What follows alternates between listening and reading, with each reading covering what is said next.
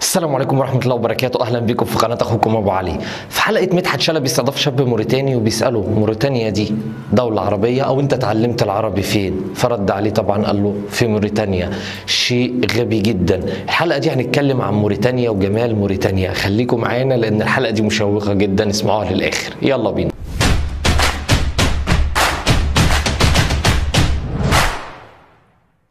موريتانيا من كل مش كلمة موريتانيا مشتقة من كلمة مور أطلقها الغرب على سكان العرب والأمازيغ اللي اتوجدوا في الأندلس والشمال الغربي الأفريقي. فجت منها كلمة موريتانيا.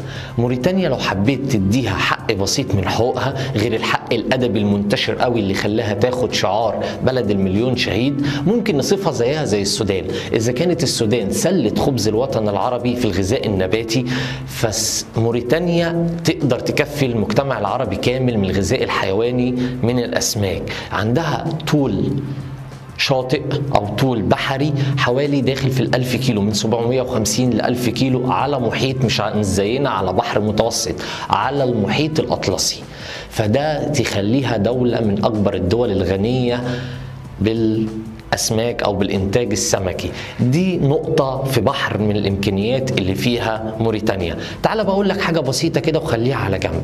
لو ربنا كرمك واتشرفت ورحت اتجوزت من موريتانيا أو في هناك ناس قبلوا يدوك بالتهم من موريتانيا وطبعا ليك الشرف إنك تتجوز من هناك خد بالك يوم فرحك لو لقيتها لابسة أسود أنت ما متش أنت حي. اولا ده هناك من تقاليدهم بسبب رفع أخلاقهم أو التهذيب الروحي بسبب الشعر اللي عمله في نفوسهم فأصبح ليهم كتالوج خاص عن النساء العربية في إقامة الأفراح. زائد كمان إن أنت لازم تتعلم لعبة بابجي كويس لأن هم في الفرح هيخبوا منك العروسة والمطلوب منك يا فالح إنك تتعارك وتضرب وتروح تدور على عروسة وتديها هدية كبيرة. فعندهم حاجات كده في البعض بيبص لها بالغرابة والبعض التاني بيبص لها بالرومانسية. رومانسية جميلة جدا. واوعى تفكر تعمل فيها سي السيد. سي السيد ده هنا في مصر في السودان في أي دولة تانية في أي مكان في العالم إلا في موريتانيا. الست الموريتانية مش هتبكي عليك لو جيت طلقتها. أبدا. دي هتعمل فرح وهتعمل هو انت فاكرنا هنزعل ده إحنا هنعمل فرح. هو ده اللي هتعمله. شنطتك وعلى أمك وهناك المجتمع ما بيبصش للست المطلقة إن هي ست. وحشة أو ست إزاي تتطلق أو إن هي ست غير قيمة لا ده بيبص لها بنظرة نظرة احترام ونظرة تفاخر بيها وتلاقي الرجالة كتير بيطلبوا يدها من أول وتاني. تمام؟ فالست الموريتانية شيء وستات كل ستات العالم في شيء تاني ست فريدة من نوعها أو امرأة فريدة من نوعها نرجع بقى لتاريخ موريتانيا. الحكاية تبدأ في موريتانيا بقبائل كبيرة اسمها سنهاجة كانت بتسكن موريتانيا. كان منهم أكبر قبيلتين جدالة ولنتونة في جدالة كان المسلمين ضعف عنهم الإسلام بسبب أنهم موجودهم في أعماق الصحراء ساكنين هناك فأصبح الدخول الوعاظ والدعاء ليهم صعب جدا. فبدأت تظهر مظاهر الانحراف بعيد الدين شوية. فبدأوا يخشوا في ذنوب كبيرة جدا. اللي ما عجبوش الحال رئيس ده رئيس قبيلة جدالة يحيى ابن إبراهيم الجدالي. راح الحج وهو راجع عدى على مدينة العلم القيروان في تونس وتحية طبعا لأهل تونس. عدى عليها وحكى القصة طلع معاه شيخ ساب المدنية وساب كل حاجة مرفه بيها في مدينة وراح في أعماق الصحراء عشان يدعو الناس. دخل القبيلة فعلا وبما إن كان يحيى الجدالي كان إنسان طيب ورقيق فكان القوم قومه ما بيطعوهوش جامد.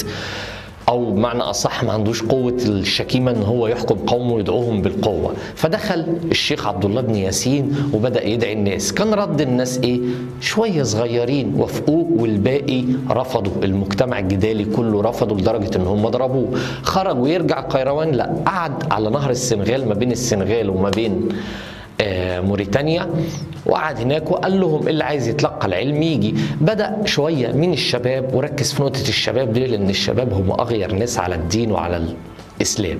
فبدأ يقولوا شوية من الشباب وشوية يجيبوا شوية وبدأوا يعملوا قبيلة.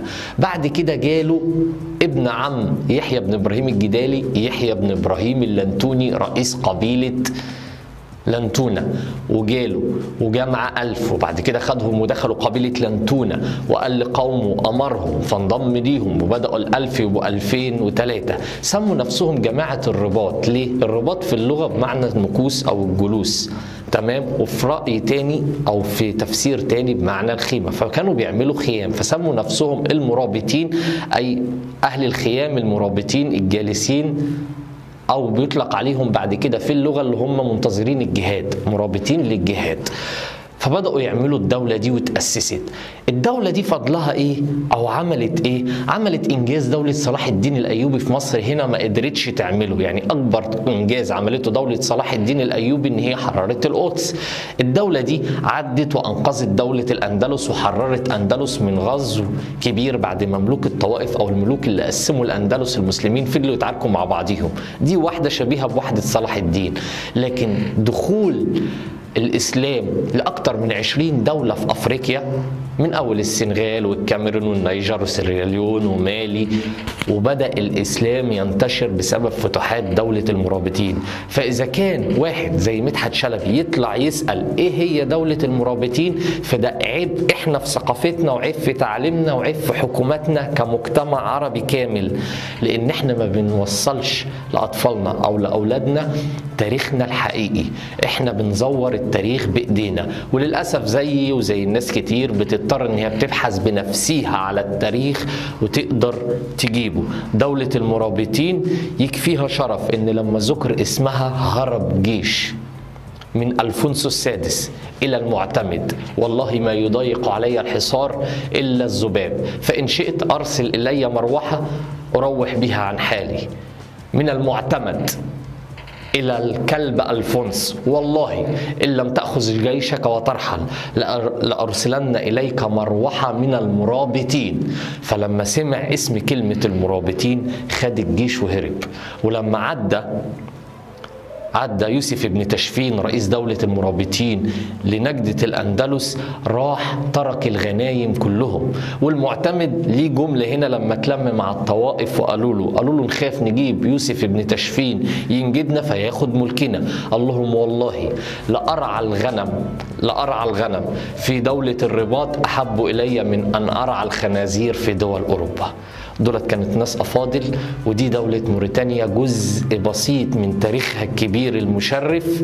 وأشوفكم على خير في الحلقة الجاية ولو عجبتك الحلقة اشتراك لايك تفعيل جرس عشان كل ما انزل حلقة يجيلك إشعار. أشوفكم على خير. السلام عليكم ورحمة الله وبركاته.